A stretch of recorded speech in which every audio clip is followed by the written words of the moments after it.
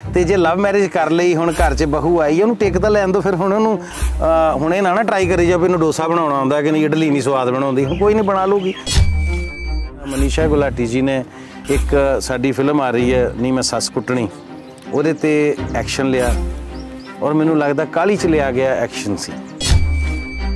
ਇਹ ਤਿੰਨ ਪ੍ਰਕਿਰਿਆ ਹੁੰਦੀਆਂ ਨੇ ਕੰਪਲੇਂਟ ਇਨਵੈਸਟੀਗੇਸ਼ਨ ਤੇ ਜਜਮੈਂਟ ਅਸੀਂ ਤਾਂ ਪਹਿਲਾਂ ਹੀ ਜਜਮੈਂਟਲ ਹੋ ਗਏ। ਉਹਨਾਂ ਨੂੰ ਇੰਨੀ ਜਲਦੀ ਡਰਨ ਦੀ ਲੋੜ ਨਹੀਂ, ਇੰਨੀ ਜਲਦੀ ਰਿਪੋਰਟ ਕਾਰਡ ਲਿਆਉਣ ਦੀ ਲੋੜ ਨਹੀਂ।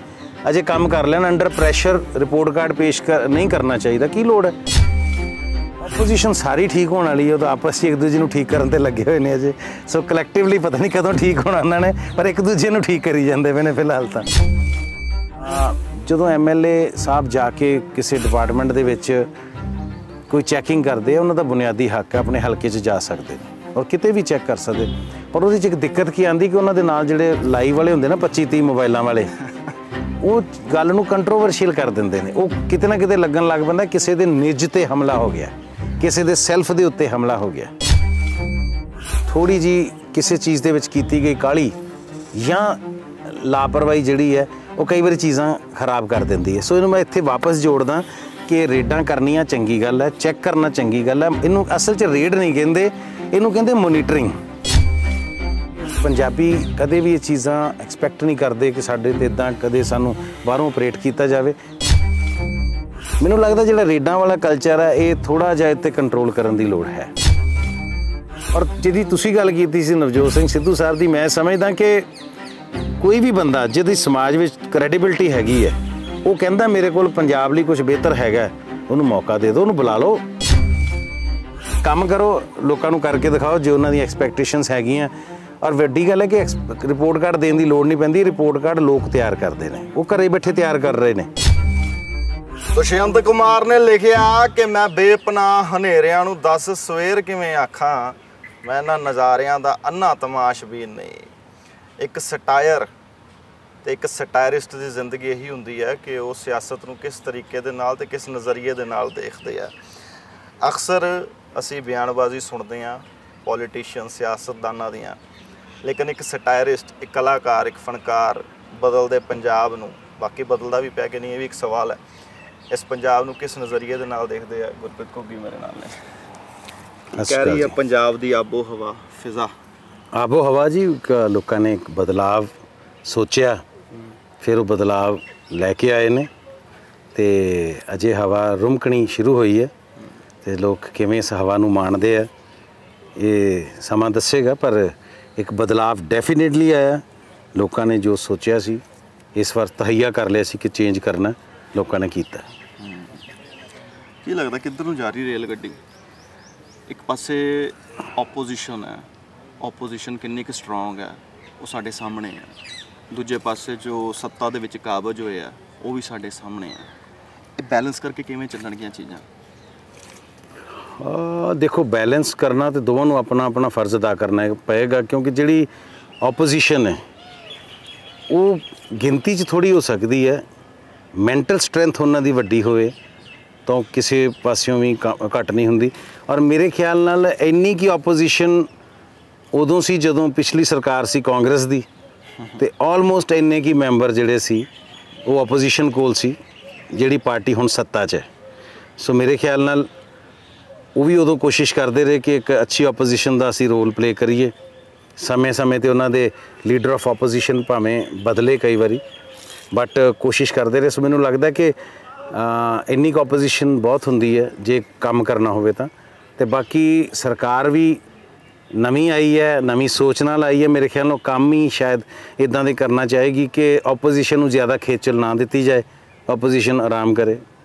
ਗੁਰਪ੍ਰੀਤ ਜੀ, ਪਾਰਟੀਆਂ ਪੰਜਾਬ ਦੇ ਵਿੱਚ ਜਾਂ ਪੰਜਾਬ ਦੀ ਗੱਲ ਕਰਦੀ ਹੈ ਕਿ ਪੰਜਾਬ ਦੇ ਭਲੇ ਲਈ ਅਸੀਂ ਅੱਗੇ ਤੁਰਨਾ ਹੈ, ਤਾਂ ਲੱਗਦਾ ਕਿ ਇੱਕ ਪਾਸੇ ਅਸੀਂ ਗੱਲ ਕਰਦੇ ਹਾਂ, ਇੱਕ ਪਾਸੇ ਅਸੀਂ ਭਰੋਸਾ ਜਤਾਇਆ, ਉਮੀਦਾਂ ਰੱਖੀਆਂ ਨਵੀਂ ਪਾਰਟੀ ਦੇ ਕੋਲੋਂ, ਜੋ ਸੱਤਾ 'ਚ ਕਾਬਜ ਹੈ ਕਿ ਹਾਂ ਬਦਲਾਅ ਆਏਗਾ।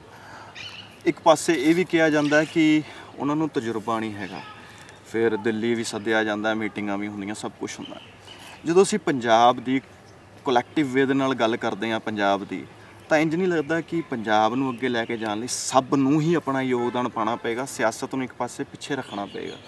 ਉਹ ਸਭ ਨੂੰ ਯੋਗਦਾਨ ਪਾਉਣ ਲਈ ਇੱਕ ਪਲੇਟਫਾਰਮ ਹੋਣਾ ਚਾਹੀਦਾ ਨਾ ਜੀ। ਸਾਂਝਾ ਪਲੇਟਫਾਰਮ ਤਾਂ ਅਜੇ ਤੱਕ ਪੰਜਾਬ 'ਚ ਕੋਈ ਹੈ ਹੀ ਨਹੀਂ, ਜਿੱਥੇ ਸਾ- ਸਾਰੇ ਆਪਣਾ ਯੋਗਦਾਨ ਪਾ ਸਕਣ। ਕਿਉਂਕਿ ਜਦੋਂ ਵੀ ਤੁਹਾਨੂੰ ਕੋਈ ਡਿਵੈਲਪਮੈਂਟ ਦੀ ਗੱਲ ਕਰਨੀ ਹੈ ਜਾਂ ਆਪਣੀ ਕੋਈ ਅੱਛੀ ਸੋਚ ਸਮਾਜ ਵਾਸਤੇ ਇੰਪਲੀਮੈਂਟ ਕਰਨੀ ਹੈ, ਤਾਂ ਤੁਹਾਨੂੰ ਜਾਣਾ ਤਾਂ ਸਰਕਾਰ ਕੋਲ ਹੀ ਪੈਂਦਾ ਹੈ ਨਾ। ਸਰਕਾਰੀ ਅਫਸਰਾਂ ਕੋਲ ਮਿਨਿਸਟਰਸ ਕੋਲ ਜਾਣਾ ਪੈਂਦਾ ਸੀਐਮ ਸਾਹਿਬ ਕੋਲ ਜਾਣਾ ਪੈਂਦਾ ਸੋ ਮੈਨੂੰ ਲੱਗਦਾ ਕਿ ਅਜੇ ਕੋਈ ਕਲੈਕਟਿਵ ਪਲੇਟਫਾਰਮ ਹੀ ਐਸਾ ਨਹੀਂ ਹੈਗਾ, ਜਿਹਦੇ ਤੇ ਸਾਰੇ ਰਲ ਕੇ ਕੰਮ ਕਰ ਸਕਣ। ਸੋ ਸਾਨੂੰ ਲੈ ਦੇ ਕੇ ਫਿਰ ਸਰਕਾਰਾਂ ਵੱਲ ਹੀ ਦੇਖਣਾ ਪੈਂਦਾ and people are doing the same way of working ਠੀਕ ਹੈ। ਰੇਡਸ ਵੱਜ ਰਹੀਆਂ ਮਿਨਿਸਟਰ ਆਪ ਦਫ਼ਤਰਾਂ 'ਚ ਚੱਲ ਜਾਂਦੇ ਹੋ। ਸੋ ਉਹ ਇਹ ਜਿਹੜਾ ਨਵਾਂ ਕਲਚਰ ਪੰਜਾਬ ਦੇ ਵਿੱਚ ਆ ਰਿਹਾ ਹੈ ਅਫਸਰਸ਼ਾਹੀ ਦੇ ਉੱਪਰ ਫਿਰ ਸਿਆਸਤਦਾਨ ਜਿਹੜੇ ਹੈਗੇ ਭਾਰੀ ਨੇ। ਤੁਹਾਨੂੰ ਲੱਗਦਾ ਸਹੀ ਹੈ? ਇਹ ਕੋਈ ਨਵੀਂ ਚੀਜ਼ ਨਹੀਂ ਹੈ ਕਿਉਂਕਿ ਇਸ ਪਾਰਟੀ ਨੇ ਦਿੱਲੀ 'ਚ ਵੀ ਸੇਮ ਅੱਗੇ ਉਹਨਾਂ ਦਾ ਜਿਹੜਾ ਲਾਈਨ ਆਫ ਐਕਸ਼ਨ ਇਹੀ ਸੀ। ਉਹ ਹੁਣ ਕਿਉਂਕਿ ਪੰਜਾਬ 'ਚ ਪਹਿਲੀ ਵਾਰੀ ਆਏ ਨੇ ਤੇ ਉਹਨਾਂ ਨੇ ਆਪਣਾ ਲਾਈਨ ਆਫ ਐਕਸ਼ਨ ਇੱਥੇ ਵੀ ਫੋਲੋ ਕਰਨਾ ਹੈ। ਸੋ ਇਹ ਡਿਪੈਂਡ ਕਰਦਾ ਕਿ ਇਹਨੂੰ ਸਾਡੇ ਲੋਕ ਅਫਸਰ ਕਿਵੇਂ ਲੈਂਦੇ ਨੇ, ਮੁਲਾਜ਼ਮ ਕਿਵੇਂ ਲੈਂਦੇ ਨੇ ਜਾਂ ਲੋਕ ਕਿਵੇਂ ਇਸ ਚੀਜ਼ ਨੂੰ ਐਕਸੈਪਟ ਕਰਦੇ ਆ ਕਿ ਨਹੀਂ ਕਰਦੇ। ਬਟ ਮੇਰੇ ਖਿਆਲ ਨਾਲ ਉਹਨਾਂ ਦਾ ਇੱਕ clear cut line of action ਹੈ ਕਿ ਅਸੀਂ ਇਦਾਂ ਹੀ ਕੰਮ ਕਰਦੇ ਹਾਂ। ਔਰ ਮੈਨੂੰ ਲੱਗਦਾ ਕਿ ਇੱਕ ਨਵੀਂ ਚੀਜ਼ ਹੈ, ਬਹੁਤ ਸਾਰੇ ਲੋਕਾਂ ਨੂੰ ਤਕਲੀਫ ਵੀ ਹੋਏਗੀ ਇਹਦੀ। ਬਹੁਤ ਸਾਰੇ ਲੋਕਾਂ ਨੂੰ ਇਹ ਚੀਜ਼ਾਂ ਪਸੰਦ ਵੀ ਨਹੀਂ ਆਣਗੀਆਂ ਬਟ ਐਂਡ ਰਿਜ਼ਲਟ ਜਿਹੜਾ ਗਵਰਨਮੈਂਟ ਨੂੰ ਵਧੀਆ ਦੇਣਾ ਪਏਗਾ, ਤਾਂ ਕਿ ਲੋਕਾਂ ਨੂੰ ਲੱਗੇ ਕਿ ਇਹ ਚੀਜ਼ਾਂ ਫਰੂਟਫੁਲ ਸੀ। ਨਹੀਂ ਤੇ ਇਹ ਚੀਜ਼ ਬਹੁਤ ਜ਼ਿਆਦਾ ਪੋਜ਼ਿਟਿਵ ਵੀ ਜਾ ਸਕਦੀ ਬਹੁਤ ਜ਼ਿਆਦਾ 네ਗੇਟਿਵ ਵੀ ਜਾ ਸਕਦੀ ਹੈ ਸਰਕਾਰ ਇਸ ਤਰ੍ਹਾਂ ਜਾਏਗੀ। ਨੈਗੇਟਿਵ ਜੇ ਫਰੂਟਫੁਲ ਨਹੀਂ ਹੁੰਦੀ ਲੋਕਾਂ ਨੂੰ ਲੱਗਦਾ ਵੀ ਇੰਨਾ ਕੁਝ ਕੀਤਾ ਰੇਡਾਂ ਮਾਰੀਆਂ। ਮੈਨੂੰ ਲੱਗਦਾ ਜਿਹੜਾ ਰੇਡਾਂ ਵਾਲਾ ਕਲਚਰ ਹੈ ਇਹ ਥੋੜਾ ਜਿਹਾ ਇੱਥੇ ਕੰਟਰੋਲ ਕਰਨ ਦੀ ਲੋੜ ਹੈ। ਕਿਉਂਕਿ ਇੱਕ ਜਿਹੜਾ ਚੁਣਿਆ ਹੋਇਆ ਨੁਮਾਇੰਦਾ ਹੈ ਨਾ ਉਹਦਾ ਕੰਮ ਹੈ ਵਿਧਾਨ ਸਭਾ 'ਚ ਆਪਣੇ ਮੁੱਦੇ ਰੱਖਣੇ ਮਸਲੇ ਕਰਨੇ। ਜਦੋਂ ਐਮਐਲਏ ਸਾਹਿਬ ਜਾ ਕੇ ਕਿਸੇ ਡਿਪਾਰਟਮੈਂਟ ਦੇ ਵਿੱਚ ਕੋਈ ਚੈਕਿੰਗ ਕਰਦੇ ਆ, ਉਹਨਾਂ ਦਾ ਬੁਨਿਆਦੀ ਹੱਕ ਹੈ ਆਪਣੇ ਹਲਕੇ 'ਚ ਜਾ ਸਕਦੇ ਨੇ ਔਰ ਕਿਤੇ ਵੀ ਚੈੱਕ ਕਰ ਸਕਦੇ। ਪਰ ਉਹਦੇ 'ਚ ਇੱਕ ਦਿੱਕਤ ਕੀ ਆਂਦੀ ਕਿ ਉਹਨਾਂ ਦੇ ਨਾਲ ਜਿਹੜੇ ਲਾਈਵ ਵਾਲੇ ਹੁੰਦੇ ਨਾ 25 30 ਮੋਬਾਈਲਾਂ ਵਾਲੇ, ਉਹ ਗੱਲ ਨੂੰ ਕੰਟਰੋਵਰਸ਼ੀਅਲ ਕਰ ਦਿੰਦੇ ਨੇ। ਉਹ ਕਿਤੇ ਨਾ ਕਿਤੇ ਲੱਗਣ ਲੱਗ ਪੈਂਦਾ, ਕਿਸੇ ਦੇ ਨਿੱਜ ਤੇ ਹਮਲਾ ਹੋ ਗਿਆ, ਕਿਸੇ ਦੇ ਸੈਲਫ ਦੇ ਉੱਤੇ ਹਮਲਾ ਹੋ ਗਿਆ। ਉਹਦੇ 'ਚ ਉਹ ਗੱਲ ਕੱਲ ਨੂੰ ਰਿਜ਼ਲਟ ਐਂਡ ਰਿਜ਼ਲਟ ਕੀ ਨਿਕਲਦਾ? ਕਿਸੇ ਨੂੰ ਪਤਾ ਨਹੀਂ ਕਿ ਉਹ ਚੀਜ਼ ਗਲਤ ਹੈ ਕਿ ਠੀਕ ਹੈ। ਬਟ ਇੱਕ ਵਾਰੀ ਉਸ ਚੀਜ਼ ਨੇ, ਉਸ ਸ਼ਖਸ ਦੀ ਜਾਂ ਉਸ ਅਫਸਰ ਦੀ ਜਾਂ ਉਸ ਮੁਲਾਜ਼ਮ ਦੀ ਇਨਸਲਟ ਕਰ ਦਿੱਤੀ। ਹੋ ਗਿਆ। ਕਰੈਕਟਰ ਅਸੈਸੀਨੇਸ਼ਨ ਹੋ ਗਿਆ। ਔਰ ਬਾਅਦ ਚ ਪਤਾ ਜਿੱਦਾਂ ਹੁਣ ਇੱਕ ਐਗਜ਼ਾਮਪਲ ਦੇਣਾ ਮਨੀਸ਼ਾ ਗੁਲਾਟੀ ਜੀ ਨੇ ਇੱਕ ਸਾਡੀ ਫਿਲਮ ਆ ਰਹੀ ਹੈ ਨੀ ਮੈਂ ਸੱਸ ਕੁੱਟਣੀ। ਉਹਦੇ ਤੇ ਐਕਸ਼ਨ ਲਿਆ। ਔਰ ਮੈਨੂੰ ਲੱਗਦਾ ਕਾਲੀ ਚ ਲਿਆ ਗਿਆ ਐਕਸ਼ਨ ਸੀ। ਔਰ ਦੇਖੋ ਅਗਰ ਅਸੀਂ ਸੰਵਿਧਾਨਿਕ ਤੌਰ ਤੇ ਵੀ ਗੱਲ ਕਰੀਏ ਨਾ ਤੇ ਤੁਸੀਂ ਲਾਈਵ ਨਹੀਂ ਹੋ ਸਕਦੇ। ਇਸ ਚੀਜ਼ ਨੂੰ ਲੈ ਕੇ ਮੈਂ ਤੁਹਾਡੇ ਕੋਲ ਕੰਪਲੇਂਟ ਕੀਤੀ ਕਿ ਲੋਕੇਸ਼ ਕੁਮਾਰ ਜੀ ਮੇਰਾ ਸਕੂਟਰ ਚੋਰੀ ਕਰਕੇ ਲੈ ਗਏ ਜੀ। ਹੂੰ ਜਾਂਚ ਹੋਏਗੀ ਉਹਦੀ ਇਨਵੈਸਟੀਗੇਸ਼ਨ ਹੋਏਗੀ। ਥਾਣੇਦਾਰ ਨੇ ਮਿੰਟ ਨਹੀਂ ਲਾਇਆ। ਲਓ ਜੀ ਮੈਂ ਆਪਣੇ ਥਾਣੇ 'ਚੋਂ ਬੋਲਦਾ। ਗੁਰਪ੍ਰੀਤ ਘੁੱਗੀ ਸਾਹਿਬ ਨੇ ਸ਼ਿਕਾਇਤ ਕੀਤੀ ਹੈ ਕਿ ਲੋਕੇਸ਼ ਕੁਮਾਰ ਉਹਨਾਂ ਦਾ ਸਕੂਟਰ ਚੋਰੀ ਕਰਕੇ ਲੈ ਗਿਆ। ਸਾਡੇ ਹੁੰਦਿਆਂ ਸਕੂਟਰ ਨਹੀਂ ਚੋਰੀ ਹੋਣਗੇ ਪੰਜਾਬ 'ਚ। ਦੱਸ ਦਿਆਂਗੇ ਲੋਕੇਸ਼ ਕੁਮਾਰ ਨੂੰ ਕਿ ਸਕੂਟਰ ਕਿਵੇਂ ਚੋਰੀ ਕਰੀਦੇ ਆ। ਬਾਅਦ ਪਤਾ ਲੱਗਾ ਭਾਈ ਉਹ ਤਾਂ ਤੁਸੀਂ ਚੋਰੀ ਨਹੀਂ ਸੀ ਕੀਤੀ ਫਿਰ ਉਹਦਾ ਕੀ ਤੁਹਾਨੂੰ ਕੀ ਉਹਦਾ ਫਾਇਦਾ ਹੋ ਜਾਊਗਾ? ਇਹ ਤਿੰਨ ਪ੍ਰਕਿਰਿਆ ਹੁੰਦੀਆਂ ਨੇ ਕੰਪਲੇਂਟ, ਇਨਵੈਸਟੀਗੇਸ਼ਨ ਤੇ ਜਜਮੈਂਟ। ਅਸੀਂ ਤਾਂ ਪਹਿਲਾਂ ਹੀ ਜਜਮੈਂਟਲ ਹੋ ਗਏ। ਕੰਪਲੇਂਟ ਤੇ ਜਜਮੈਂਟਲ ਹੋ ਗਏ, ਲਾਈਵ ਹੋ ਗਏ। ਕਿਸੇ ਦਾ ਕਰੈਕਟਰ ਅਸੈਸੀਨੇਸ਼ਨ ਹੋ ਗਿਆ ਪ੍ਰੋਡਿਊਸਰ ਡਾਇਰੈਕਟਰ ਦਾ ਜਲੂਸ ਨਿਕਲ ਗਿਆ ਕਿ ਉਹਨਾਂ ਨੇ ਇੱਕ ਬਹੁਤ ਸਬ ਸਟੈਂਡਰਡ ਘਟੀਆ ਸੋਚ ਨਾਲ ਫਿਲਮ ਬਣਾਤੀ। ਟੰਗੇ ਜਾਣਗੇ, ਚੱਕੇ ਜਾਣਗੇ, ਧਰਲੇ ਜਾਣਗੇ, ਹਨਾ? ਤੇ ਬਾਅਦ ਚ ਸਾਰੇ ਪੰਜਾਬ ਨੇ ਆਪਣਾ ਇੱਕ ਰਿਐਕਸ਼ਨ ਦਿੱਤਾ, ਭਾਈ, ਇਹ ਕਲਚਰ ਆ, ਲੋਕ ਬੋਲੀ ਹੈ ਇਹਨਾਂ ਨੂੰ ਅਸੀਂ ਕਿਵੇਂ ਚੈਲੰਜ ਕਰ ਸਕਦੇ ਹਾਂ? ਸੋ ਮੈਨੂੰ ਲੱਗਦਾ ਕਿ ਜਿੱਥੇ ਮਨੀਸ਼ਾ ਜੀ ਮੈਂ ਦਿਲੋਂ ਬਹੁਤ ਰਿਸਪੈਕਟ ਕਰਦਾ ਕਿ ਉਹਨਾਂ ਨੇ ਅਹਿਸਾਸ ਕਰਾਇਆ ਲੋਕਾਂ ਨੂੰ ਕਿ ਮਹਿਲਾ ਯੋਗ ਵੀ ਕੋਈ ਚੀਜ਼ ਹੁੰਦੀ ਪਹਿਲਾਂ ਲੋਕਾਂ ਨੂੰ ਪਤਾ ਹੀ ਨਹੀਂ ਸੀ। ਔਰਤਾਂ ਨੂੰ ਪਤਾ ਹੀ ਨਹੀਂ ਸੀ ਕਿੱਥੇ ਜਾਣਾ ਕਿੱਥੇ ਕੰਪਲੇਂਟ ਕਰਨੀ ਹੈ। ਬਟ ਥੋੜੀ ਜੀ ਕਿਸੇ ਚੀਜ਼ ਦੇ ਵਿੱਚ ਕੀਤੀ ਗਈ ਕਾਲੀ ਜਾਂ ਲਾਪਰਵਾਹੀ ਜਿਹੜੀ ਹੈ ਉਹ ਕਈ ਵਾਰੀ ਚੀਜ਼ਾਂ ਖਰਾਬ ਕਰ ਦਿੰਦੀ ਹੈ। ਸੋ ਇਹਨੂੰ ਮੈਂ ਇੱਥੇ ਵਾਪਸ ਜੋੜਦਾ ਕਿ ਰੇਡਾਂ ਕਰਨੀਆਂ ਚੰਗੀ ਗੱਲ ਹੈ, ਚੈੱਕ ਕਰਨਾ ਚੰਗੀ ਗੱਲ ਹੈ। ਇਹਨੂੰ ਅਸਲ 'ਚ ਰੇਡ ਨਹੀਂ ਕਹਿੰਦੇ, ਇਹਨੂੰ ਕਹਿੰਦੇ ਮੋਨੀਟਰਿੰਗ। ਜੇ ਇਹਦਾ ਸਹੀ ਲਫ਼ਜ਼ ਆਪਾਂ ਹਨਾ ਕਰੀਏ, ਮੋਨੀਟਰਿੰਗ ਕਰੋ। ਚੀਜ਼ਾਂ ਤੇ ਧਿਆਨ ਰੱਖੋ, ਬਾਜ਼ ਵਰਗੀ ਅੱਖ ਰੱਖੋ ਕਿ ਚੀਜ਼ਾਂ ਸਭ ਠੀਕ ਚੱਲ ਰਹੀਆਂ ਥੱਲੇ ਸੋਸਾਇਟੀ 'ਚ। ਚੀਜ਼ਾਂ ਦੀ ਮਾਈਲੇਜ ਲੈਣ ਦੀ ਕੋਸ਼ਿਸ਼ ਨਾ ਕਰੀਏ। ਚੀਜ਼ਾਂ ਤੋਂ ਮਾਈਲੇਜ ਲੈਣ ਦੀ ਕੋਸ਼ਿਸ਼ ਕਰਾਂਗੇ, ਲੋਕਾਂ ਤੋਂ ਸਰਟੀਫਿਕੇਟ ਲੈਣ ਦੀ ਕੋਸ਼ਿਸ਼ ਕਰਾਂ ਦੇਖਿਆ ਚੱਕ ਕੇ ਰੱਖਤਾ ਜੇ, ਟੰਗਤਾ, ਠੋਕਤਾ, ਨਹੀਂ। ਇਹ ਤਾਂ ਇੱਕ ਸ- ਅਹ, ਸੰਵਿਧਾਨਿਕ ਪ੍ਰਕਿਰਿਆ ਹੈ। ਜੋ ਗਲਤ ਲੱਗਾ ਉਹਦੀ ਕੰਪਲੇਂਟ ਕਰੋ। ਕੰਸਰਨਡ ਅਫਸਰ ਨੂੰ ਕਹੋ ਤੇ ਐਕਸ਼ਨ ਲਓ। ਉਹ ਚੀਜ਼ ਥਾਣੇ ਜਾਵੇ ਕੋਰਟ 'ਚ ਜਾਵੇ, ਉਹਦਾ ਐਂਡ ਰਿਜ਼ਲਟ ਆਵੇ। ਜੇ ਬੰਦਾ ਸਸਪੈਂਡ ਹੁੰਦਾ ਸਸਪੈਂਡ ਹੋਵੇ ਟਰਮੀਨੇਟ ਹੁੰਦਾ ਟਰਮੀਨੇਟ ਹੋਵੇ, ਅਗਰ ਉਹ ਇਨੋਸੈਂਟ ਨਿਕਲਦਾ ਤਾਂ ਉਹਨੂੰ ਸੌਰੀ ਕਹਿ ਕੇ ਉਹਨੂੰ ਦੁਬਾਰਾ ਕੰਮ ਤੇ ਕਿਹਾ ਜਾਵੇ ਵੀ ਆਪਣਾ ਕੰਮ ਕਰੋ ਤੁਸੀਂ, ਹਨਾ। ਸੋ ਐਂਡ ਰਿਜ਼ਲਟ ਤੁਹਾਡਾ ਜਿਹੜਾ 10 ਮਿੰਟ ਦਾ ਵੀਡੀਓ ਕਲਿੱਪ ਹੈ, ਉਹ ਕੰਪਲੇਂਟ ਵੀ ਇਨਵੈਸਟੀਗੇਸ਼ਨ ਵੀ ਤੇ ਜੱਜਮੈਂਟ ਵੀ 10 10 ਮਿੰਟਾਂ 'ਚ ਦਿਖਾ ਦਿੰਦਾ ਵਿਚ ਇਜ਼ ਰੋਂਗ ਇੱਕ ਮਹੀਨੇ ਦਾ ਰਿਪੋਰਟ ਕਾਰਡ ਜਨਤਾ ਦੇ ਸਾਹਮਣੇ ਲੈ ਕੇ ਆਏ ਮਾਨ ਸਰਕਾਰ। ਕਿਸ ਤਰ੍ਹਾਂ ਤੁਸੀਂ ਕਿਸ ਤਰ੍ਹਾਂ ਦੇਖਦੇ ਹੋ? ਮੈਨੂੰ ਲੱਗਦਾ ਜਿਹੜਾ ਰਿਪੋਰਟ ਕਾਰਡ ਉਹਨਾਂ ਨੇ ਲਿਆਂਦਾ ਹੈ ਅਜੇ ਉਹਨਾਂ ਨੂੰ ਇੰਨੀ ਜਲਦੀ ਡਰਨ ਦੀ ਲੋੜ ਨਹੀਂ ਇੰਨੀ ਜਲਦੀ ਰਿਪੋਰਟ ਕਾਰਡ ਲਿਆਉਣ ਦੀ ਲੋੜ ਨਹੀਂ। ਅਜੇ ਕੰਮ ਕਰ ਲੈਣ ਅੰਡਰ ਪ੍ਰੈਸ਼ਰ ਰਿਪੋਰਟ ਕਾਰਡ ਪੇਸ਼ ਨਹੀਂ ਕਰਨਾ ਚਾਹੀਦਾ ਕੀ ਲੋੜ ਹੈ? ਅੰਡਰ ਪ੍ਰੈਸ਼ਰ ਵਰਡ ਵਰਤਿਆ। ਹਾਂ ਬਿਲਕੁਲ ਅੰਡਰ ਪ੍ਰੈਸ਼ਰ ਹੈ ਕਿਉਂਕਿ ਜ਼ਿਆਦਾ pressure ਹੈ। ਪ੍ਰੈਸ਼ਰ ਲੋਕਾਂ ਦਾ ਐਕਸਪੈਕਟੇਸ਼ਨਸ ਦਾ ਮੀਡੀਆ ਦਾ ਸੋਸ਼ਲ ਮੀਡੀਆ ਦਾ। ਲੋਕਾਂ ਨੇ ਰਿਪੋਰਟ ਕਾਰਡ ਨਹੀਂ ਮੰਗਿਆ। ਨਹੀਂ ਲੋਕ ਮੰਗਦੇ ਨੇ ਨਾ ਜੀ। ਲੋਕ ਇਦਾਂ ਕਿਸੇ ਨੇ ਪਰਸਨਲੀ ਜਾ ਕੇ ਥੋੜੀ ਕਹਿਣਾ ਦੇ ਰਿਪੋਰਟ ਕਾਰਡ ਦਿਓ। ਲੋਕ ਤਾਂ ਕਹਿੰਦੇ ਕਿ 6 ਮਹੀਨੇ ਦਾ ਵਕਤ ਦੇਣਾ ਚਾਹੀਦਾ। ਮੈਂ ਇਹੀ ਕਹਿ ਰਿਹਾ ਦੈਟਸ ਵਾਟ ਆਮ ਸੇਇੰਗ ਕਿ ਸਕੂਲ ਦਾ ਇੱਕ ਨਰਸਰੀ ਦੇ ਬੱਚੇ ਦਾ ਰਿਪੋਰਟ ਕਾਰਡ ਵੀ ਉਹ ਕਹਿੰਦੇ ਜੀ ਕੁਆਟਰਲੀ ਹਨਾ 6 ਮੰਥਸ ਬਾਅਦ 9 ਮੰਥ ਬਾਅਦ ਰਿਪੋਰਟ ਕਾਰਡ ਇੱਕ ਤਿਆਰ ਹੁੰਦਾ ਔਰ ਕਿਸੇ ਵੀ ਗਵਰਨਮੈਂਟ ਨੂੰ, ਕਿਸੇ ਵੀ ਅਦਾਰੇ ਨੂੰ ਅਸੀਂ ਅਗਰ 20 25 40 ਦਿਨਾਂ ਚ 30 ਦਿਨਾਂ ਚ ਕਵਾਂਗੇ ਰਿਪੋਰਟ ਕਾਰਡ ਪੇਸ਼ ਕਰੋ ਤੇ it will be too early ਮੈਂ ਤਾਂ ਇਹੀ ਤੇ ਕਹਿ ਰਿਹਾ ਵੀ ਸਰਕਾਰ ਨੂੰ ਇੰਨਾ ਪ੍ਰੈਸ਼ਰ ਨਹੀਂ ਲੈਣਾ ਚਾਹੀਦਾ ਕਿ ਦੇਣਾ ਹੀ ਦੇਣਾ ਅਸੀਂ ਰਿਪੋਰਟ ਕਾਰਡ ਦੇ ਦਿਓ। ਕੰਮ ਕਰੋ, ਲੋਕਾਂ ਨੂੰ ਕਰਕੇ ਦਿਖਾਓ ਜੇ ਉਹਨਾਂ ਦੀ ਐਕਸਪੈਕਟੇਸ਼ਨਸ ਹੈਗੀਆਂ। ਔਰ ਵੱਡੀ ਗੱਲ ਹੈ ਕਿ ਰਿਪੋਰਟ ਕਾਰਡ ਦੇਣ ਦੀ ਲੋੜ ਨਹੀਂ ਪੈਂਦੀ ਰਿਪੋਰਟ ਕਾਰਡ ਲੋਕ ਤਿਆਰ ਕਰਦੇ ਨੇ। ਉਹ ਘਰੇ ਬੈਠੇ ਤਿਆਰ ਕਰ ਰਹੇ ਨੇ। ਭਾਜੀ ਮੈਂ ਸਕੂਲ ਦੇ ਵਿੱਚ ਮੇਰੇ ਨੰਬਰ ਆਏ ਸੀ ਜੀ ਅੰਗਰੇਜ਼ੀ ਦਾ ਪੇਪਰ ਸੀ। ਮੈਨੂੰ ਯਾਦ ਹੈ ਪਲੱਸ 2 ਦੇ ਵਿੱਚ ਸ਼ਾਇਦ 100 ਦੇ ਵਿੱਚੋਂ 43 ਅੱਛਾ। ਸ਼ਾਇਦ ਜ਼ਿਆਦਾ ਦੱਸ ਗਿਆ ਇਸ ਤੋਂ ਵੀ ਘੱਟ ਹੋ ਸਕਦੇ ਨੇ ਹੋ ਗਿਆ ਜੀ। 43 ਸੀ ਪਾਸ ਤਾਂ ਹੋ ਹੀ ਜਾਣਾ ਸੀ। ਪਰ ਮੈਂ ਗੱਲ ਕਰਦਾ ਕਿ ਮੈਂ ਉਹ ਸਰਕਾਰ ਕਾਲਜ ਨੇ ਇੱਕ ਮੇਰੇ ਮਾਰਕ ਸ਼ੀਟ ਤੇ ਲਿਖਤਾ 43 ਮੈਂ ਆਪਣੀ ਇੱਕ ਮਾਰਕ ਸ਼ੀਟ ਛਪਾ ਕੇ ਲੈ ਜਾਵਾਂ ਨੰਬਰ 83 ਆ ਗਏ ਜੱਟ ਦੇ। ਉਹ 83 ਨਹੀਂ ਹੋ ਜਾਣੇ?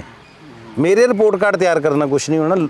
ਉਹ ਯੂਨੀਵਰਸਿਟੀ ਨੇ ਕਾਲਜ ਨੇ ਤਿਆਰ ਕਰ ਲਿਆ ਰਿਪੋਰਟ ਕਾਰਡ ਕਾਲ ਜਿਹੜੀ ਆਡੀਅנס ਹੈ ਜਾਂ ਸਾਡੀ ਜਨਤਾ ਹੈ, ਸਾਡੇ ਵੋਟਰ ਸਪੋਰਟਰ ਨੇ, ਇਹ ਆਪਣੇ ਆਪ ਚ ਇੱਕ ਯੂਨੀਵਰਸਿਟੀ ਕਹਿ ਲਓ, ਸੰਸਥਾ ਕਹਿ ਲਓ, ਹਨਾ, ਇਹ ਇੰਸਟੀਚਿਊਟ ਕਹਿ ਲਓ, ਇਹ ਰਿਪੋਰਟ ਕਾਰਡ ਸਾਡਾ ਤਿਆਰ ਕਰ ਰਹੇ, ਇਹਨਾਂ ਨੇ ਆਪ ਹੀ ਦੇ ਦੇਣਾ। ਸੋ ਬਿਲਕੁਲ ਰਿਪੋਰਟ ਕਾਰਡ ਇਦਾਂ ਦੇ ਕੋਈ ਪ੍ਰੈਸ਼ਰ ਚ ਨਹੀਂ ਪੇਸ਼ ਕਰਨੇ ਚਾਹੀਦੇ। ਕੰਮ ਕਰੋ, ਲੋਕਾਂ ਦੀ ਸਟੇਸ਼ਨ ਹੈ ਉੱਤੇ ਪੂਰੇ ਉਤਰੋ। ਤੁਸੀਂ ਪ੍ਰੈਸ਼ਰ ਦੀ ਗੱਲ ਕੀਤੀ ਅੰਡਰ ਪ੍ਰੈਸ਼ਰ ਦੀ।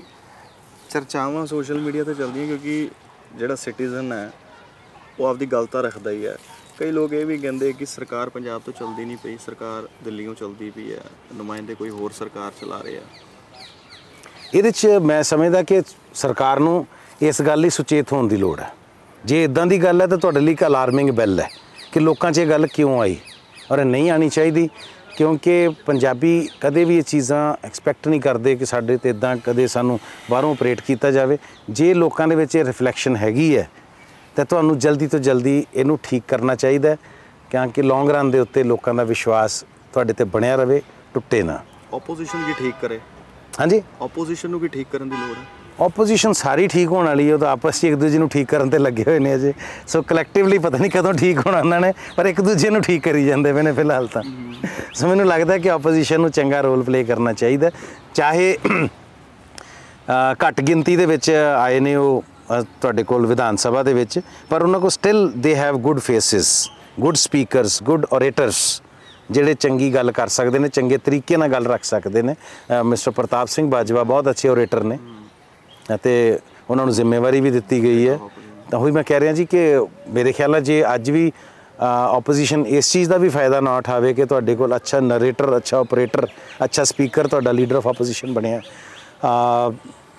ਸੁਖਪਾਲ ਖਹਿਰਾ ਬਹੁਤ ਅੱਛੇ ਔਰੇਟਰ ਨੇ ਗੱਲ ਨੂੰ ਬੜੇ ਵਧੀਆ ਤਰੀਕੇ ਨਾਲ ਕਹਿੰਦੇ ਨੇ ਸੋ ਤੁਹਾਡੇ ਕੋਲ ਇਦਾਂ ਦੇ ਲੋਕ ਵਿਧਾਨ ਸਭਾ 'ਚ ਬੈਠੇ ਨੇ ਤੇ ਇੱਕ ਅੱਛੀ ਆਪੋਜੀਸ਼ਨ ਦਾ ਰੋਲ ਜ਼ਰੂਰ ਪਲੇ ਕਰੋ। ਨਵਜੋਤ ਸਿੰਘ ਸਿੱਧੂ ਬੜਾ ਪੰਜਾਬ ਮਾਡਲ ਦੀ ਗੱਲ ਕਰਦੇ ਆ ਤੁਹਾਨੂੰ ਲੱਗਦਾ ਕਿ ਸਰਕਾਰ ਨੂੰ ਉਸ ਪੰਜਾਬ ਮਾਡਲ ਤੇ ਝਾਤ ਮਾਰ ਜਾਂਦੀ ਉਹ ਪਾਲਿਸੀਆਂ ਦੀ ਗੱਲ ਕਰਦੇ ਆ ਇੱਕ ਪਾਸੇ ਸਰਕਾਰ ਉਹ ਕਹਿੰਦੇ ਕਿ ਠੇਕਿਆਂ ਤੇ ਚਲਦੀ ਵੀ ਸਰਕਾਰ ਖਜ਼ਾਨੇ ਐ ਨਹੀਂ ਭਰਨੇ। ਲੱਗਦਾ ਕਿ ਪੰਜਾਬ ਮਾਡਲ ਜਿਹੜਾ ਹੈਗਾ ਸਰਕਾਰ ਨੂੰ ਇੱਥੇ ਚਿੰਤਨ ਤੇ ਕਰਨਾ ਚਾਹੀਦਾ? ਦੇਖੋ ਸਰਕਾਰ ਨੇ ਬਾਰ-ਬਾਰ ਇਹ ਕਿਹਾ ਸੀ ਕਿ ਦਿੱਲੀ ਮਾਡਲ ਇੱਥੇ ਲਾਗੂ ਕਰਾਂਗੇ। ਹਾਲਾਂਕਿ ਦਿੱਲੀ ਕੰਪਲੀਟ ਸਟੇਟ ਨਹੀਂ ਹੈ। ਹੈਨਾ ਜੀ? ਤੋਂ ਇੱਕ ਸੈਮੀ ਸਟੇਟ ਨੂੰ ਸਟੇਟ ਦੇ ਨਾਲ ਕੰਪੈਰੀਜ਼ਨ ਕਰਨਾ ਥੋੜਾ ਔਖਾ ਹੋ ਜਾਂਦਾ। ਔਰ ਦਿੱਲੀ ਦਾ ਕਲਚਰ ਹੀ ਹੋਰ ਹੈ। ਜੇ ਮੈਂ ਕਹਾਂ ਦਿੱਲੀ ਦੀ ਕੀ ਸੱਭਿਅਤਾ ਕੀ ਸੱਭਿਆਚਾਰ ਕੀ ਹੈ ਉਹਨਾਂ ਦਾ ਲੋਕ ਨਾਚ ਕੀ ਹੈ ਉਹਨਾਂ ਦਾ ਕੋਈ ਲੋਕ ਨਾਚ ਨਹੀਂ ਹੈਗਾ। ਉਹਨਾਂ ਦੀ ਆਪਣੀ ਬੋਲੀ ਕੀ ਹੈ ਦਿੱਲੀ ਦੀ? ਨੇਟਿਵ ਬੋਲੀ ਕੀ? ਕੋਈ ਨੇਟਿਵ ਬੋਲੀ ਨਹੀਂ ਹੈਗੀ। ਸੋ ਉਹਨਾਂ ਦਾ ਆਪਣਾ ਕੋਈ ਵਿਰਸਾ ਵਿਰਾਸਤ ਨਹੀਂ ਹੈ ਕਿਉਂ? ਸ਼ਾਸਕ ਰਾਜ ਰਿਹਾ। ਹਾਂ ਉਹ ਜਿਹੜਾ ਮੈਂ ਸਮਝਦਾ ਕਿ ਇੱਕ ਅਲੱਗ-ਅਲੱਗ ਪ੍ਰਦੇਸ਼ਾਂ ਤੋਂ ਲੋਕ ਉੱਥੇ ਆ ਕੇ ਆਪਣੀ ਜ਼ਿੰਦਗੀ ਸਜਾਣਾ ਸਵਾਰਨਾ ਚਾਹੁੰਦੇ ਆ। ਉਹ ਇੱਕ ਮਲਟੀਕਲਚਰਲ ਸਿਟੀ ਹੈ। ਉਹਦੇ 'ਚ ਕੋਈ ਕਿੱਤਾ ਮੁਖੀ ਲੋਕ ਨਹੀਂ ਹੈਗੇ। ਪੰਜਾਬ ਖੇਤੀਬਾੜੀ ਕਿੱਤਾ ਮੁਖੀ ਸਟੇਟ ਹੈ। ਪੰਜਾਬ ਦੇ ਲੋਕਾਂ ਦਾ ਵਿਜ਼ਨ ਹੋਰ ਹੈ। ਅੱਜ ਹੀ ਸੁਰਜੇਵਾਲ ਸਾਹਿਬ ਨੇ ਇਹ ਵੀ ਕਿਹਾ ਕਹਿੰਦੇ ਕਿ ਦਿੱਲੀ ਤਾਂ ਆਪਦੀ ਬਿਜਲੀ ਵੀ ਪੈਦਾ ਨਹੀਂ ਕਰਦੀ। ਹਾਂਜੀ ਬਹੁਤ ਚੀਜ਼ਾਂ ਐਸੀਆਂ ਨੇ ਜਿਹੜੀਆਂ ਕਿ ਦਿੱਲੀ ਦੇ ਨਾਲ ਸਾਡੇ ਪੰਜਾਬ ਦੀਆਂ ਮੈਚ ਨਹੀਂ ਕਰਦੀਆਂ। ਸੋ ਇਸ ਕਰਕੇ ਦਿੱਲੀ ਮਾਡਲ ਕਹਿ ਜ਼ਰੂਰ ਰਹੇ ਨੇ, ਉਹ ਦਿੱਲੀ ਮਾਡਲ ਦੇ ਵਿੱਚ ਕੁਝ ਅੱਛੀਆਂ ਚੀਜ਼ਾਂ ਜਿਹੜੀਆਂ ਹੈਗੀਆਂ ਨੇ, ਉਹਨਾਂ ਨੂੰ ਲਿਆਉਣੀਆਂ ਚਾਹੀਦੀਆਂ। ਔਰ ਜਿਹਦੀ ਤੁਸੀਂ ਗੱਲ ਕੀਤੀ ਸੀ ਨਵਜੋਤ ਸਿੰਘ ਸਿੱਧੂ ਸਾਹਿਬ ਦੀ, ਮੈਂ ਸਮਝਦਾ ਕਿ ਕੋਈ ਵੀ ਬੰਦਾ ਜਿਹਦੀ ਸਮਾਜ ਵਿੱਚ ਕ੍ਰੈਡੀਬਿਲਟੀ ਹੈਗੀ ਹੈ, ਉਹ ਕਹਿੰਦਾ ਮੇਰੇ ਕੋਲ ਪੰਜਾਬ ਲਈ ਕੁਝ ਬਿਹਤਰ ਹੈਗਾ ਉਹਨੂੰ ਮੌਕਾ ਦੇ ਦਿਓ, ਉਹਨੂੰ ਬੁਲਾ ਲਓ। ਸਾਨੂੰ ਇੰਨਾ ਓਪਨ ਤਾਂ ਹੋਣਾ ਚਾਹੀਦਾ ਕਿ ਹਾਂਜੀ, ਸੁਣੋ ਹਰ ਪਾਰਟੀ ਦੇ ਬੰਦੇ ਨੂੰ ਚਾਹੇ ਕੋਈ ਨਾਨ ਪੋਲੀਟੀਕਲ ਬੰਦਾ ਵੀ ਕੱਲ ਨੂੰ ਮੈਂ ਹੀ ਕਹਿੰਦਾ ਮੇਰੇ ਕੋਲ ਇੱਕ ਮਾਡਲ ਹੈਗਾ, ਜਿਹਦੇ ਨਾਲ ਪੰਜਾਬ ਦਾ ਕੁਝ ਭਲਾ ਹੋ ਸਕਦਾ, ਮੇਰੀਆਂ 20 ਗੱਲਾਂ ਸੁਣ ਲਓ। ਹੋ ਸਕਦਾ 19 ਗੱਲਾਂ ਮੇਰੀਆਂ ਬੇਕਾਰ ਹੁਣ, ਇੱਕ ਗੱਲ ਪੰਜਾਬ ਦੇ ਕੰਮ ਆਉਂਦੀ ਹੋਵੇ, ਉਹਨੂੰ ਇੰਪਲੀਮੈਂਟ ਕਰੋ। ਸੋ ਸਰਕਾਰ ਤਾਂ ਇੰਨੀ ਤਾਂ ਮੈਨੂੰ ਲੱਗਦਾ ਕਿ ਓਪਨ ਮਾਈਂਡਡ ਹੋਣੀ ਚਾਹੀਦੀ ਹੈ ਕਿ ਦੇ ਸ਼ੁੱਡ ਵੈਲਕਮ ਐਵਰੀਬਾਡੀ ਕਿ ਜਿਹੜਾ ਬੰਦਾ ਸਮਾਜ ਨੂੰ ਕਿਸੇ ਖਿੱਤੇ 'ਚ ਰਿਪਰੈਜ਼ੈਂਟ ਕਰਦਾ, ਆਪਣੀ ਪ੍ਰੈਜੈਂਟੇਸ਼ਨ ਲੈ ਕੇ ਆਏ ਆਪਣੀ رائے ਰੱਖੇ ਕੋਈ ਅੱਛੀ ਚੀਜ਼ ਹੈ ਤੇ ਉਹਨੂੰ ਉਹਦਾ ਕ੍ਰੈਡਿਟ ਦੇ ਕੇ ਇੰਪਲੀਮੈਂਟ ਕਰੋ ਕਿ ਸਿੱਧੂ ਸਾਹਿਬ ਨੇ ਸਾਨੂੰ ਆਹ ਗੱਲਾਂ ਦੱਸੀਆਂ ਸੀ ਇਹਦੇ ਚੋਂ ਆਹ ਗੱਲਾਂ ਤਾਂ ਨਹੀਂ ਹੋ ਸਕਦੀਆਂ ਔਰ ਆਹ ਗੱਲਾਂ ਸਾਨੂੰ ਇਹਨਾਂ ਦੀਆਂ ਠੀਕ ਲੱਗੀਆਂ ਨੇ ਆਪਾਂ ਇੰਪਲੀਮੈਂਟ ਕਰ ਰਹੇ ਹਾਂ ਇਦਾਂ ਹੀ ਭਾਵੇਂ ਕੋਈ ਬੀਜੇਪੀ ਦਾ ਬੰਦਾ ਹੋਵੇ ਪੰਜਾਬ ਲਈ ਕੋਈ ਬਿਹਤਰ ਗੱਲ ਦੱਸਦਾ ਸੁਣ ਲਓ ਉਹਦੀ ਗੱਲ ਚੰਗੀ ਹੋਵੇ ਤਾਂ ਇੰਪਲੀਮੈਂਟ ਕਰੋ ਨਹੀਂ ਤਾਂ ਨਾ ਕਰੋ ਅੰਤ 'ਚ ਸ਼ੁਰੂਆਤ ਆਪਾਂ ਕੀਤੀ ਸੀਗੀ ਜਦੋਂ ਤੁਸੀਂ ਗੱਲ ਸ਼ੁਰੂ ਕੀਤੀ ਤੁਸੀਂ ਕਿਹਾ ਕਿ ਲੋਕਾਂ ਨੇ ਜਿਤਾਇਆ ਲੋਕਾਂ ਨੇ ਮੈਂਡੇਟ ਦਿੱਤਾ ਹੈ ਲੋਕਾਂ ਨੇ ਬਦਲਾ ਲੈ ਕੇ ਆਇਆ ਹੁਣ ਲੋਕਾਂ ਦੀ ਸਭ ਤੋਂ ਜ਼ਿਆਦਾ ਜ਼ਿੰਮੇਵਾਰੀ ਹੈ। ਲੋਕ ਕੀ ਕਰਨ? ਲੋਕ ਇਹ ਕਰਨਗੇ ਹੁਣ ਇੰਤਜ਼ਾਰ ਕਰਨ। ਇੱਕ ਚੀਜ਼ ਤੁਸੀਂ ਵੱਡਾ ਕੰਮ ਕਰ ਲਿਆ ਜਦੋਂ ਲਵ ਮੈਰਿਜ ਕਰ ਹੀ ਲਈ ਹਨਾ? ਅਸੀਂ ਘਰ 'ਚ marriage ਆ। ਹਾਂ ਲਵ ਮੈਰਿਜ ਹੈ ਲੋਕਾਂ ਨੇ ਪਿਆਰ ਦਿਖਾਇਆ ਭਾਜੀ। ਤੇ ਜੇ ਲਵ ਮੈਰਿਜ ਕਰ ਲਈ ਹੁਣ ਘਰ 'ਚ ਬਹੂ ਆਈ ਉਹਨੂੰ ਟਿਕ ਤਾਂ ਲੈਣ ਦੋ ਫਿਰ ਹੁਣ ਉਹਨੂੰ ਹੁਣੇ ਨਾ ਨਾ ਟਰਾਈ ਕਰੀ ਜਾ ਵੀ ਇਹਨੂੰ ਡੋਸਾ ਬਣਾਉਣਾ ਆਉਂਦਾ ਕਿ ਨਹੀਂ ਇਡਲੀ ਨਹੀਂ ਸਵਾਦ ਬਣਾਉਂਦੀ। ਹੁਣ ਕੋਈ ਨਹੀਂ ਬਣਾ ਲੂਗੀ ਹੁਣ ਦੇਖੋ ਜੋ ਉਹਨੂੰ ਬਣਾਉਣਾ ਆਉਂਦਾ ਪਹਿਲਾਂ ਤਾਂ ਉਹ ਖਾ ਕੇ ਦੇਖ ਲਓ ਵੀ ਸ਼ਾਇਦ ਇਹਦੇ ਕੋਲ ਕੋਈ ਸਵਾਦ ਚੀਜ਼ ਹੋਵੇ। ਫਿਰ ਆਪਣੇ ਵਾਲੀਆਂ ਸਿਖਾ ਕੇ ਦੇਖ ਲਓ ਜੇ ਸਿੱਖ ਗਈ ਠੀਕ ਹੈ। ਤੇ ਜੇ ਮਤਲਬ ਵਕਤ ਦੇ ਉੱਤੇ ਹੁੰਦਾ ਵੀ ਜੇ ਚੀਜ਼ਾਂ ਨਹੀਂ ਨਿਭਦੀਆਂ ਫਿਰ ਗੋਰਿਆਂ ਵਾਲਾ ਕਲਚਰ ਤੇ ਹੈਗਾ ਹੀ ਹੈ ਵੀ ਠੀਕ ਹੈ ਭੈਣ ਜੀ ਤੁਸੀਂ ਆਪਣੇ ਘਰ ਤੇ ਮੈਂ ਆਪਣੇ ਘਰ ਹਨਾ ਉਹ ਤਾਂ ਫਿਰ ਬਹੁਤ ਬਹੁਤ ਸ਼ੁਕਰੀਆ ਬਾਤ ਦੇਣ ਲਈ ਥੈਂਕ ਯੂ ਭਾਜੀ ਥੈਂਕ ਯੂ ਸੋ ਮਚ ਸਿਆਣੇ ਕਹਿੰਦੇ ਨੇ ਕਿ ਜੇ ਸ਼ੌਂਕ ਰੱਖਦੇ ਹੋ ਦੇਖਣ ਦਾ ਨਜ਼ਰ ਪੈਦਾ ਕਰੋ। ਨਜ਼ਰ ਬਣਾ ਕੇ ਰੱਖੋ। ਕੈਮਰੇ ਦੇ ਸਾਥ ਰਿਸ਼ਕੇ ਸੁਖਿੰਦਰ ਮੈਂ ਲੰਗੇਸ਼ ਤੇ ਖਜ਼ਾਨਾ ਸਪੋਕਸਮੈਨ ਠੀਕ ਹੈ।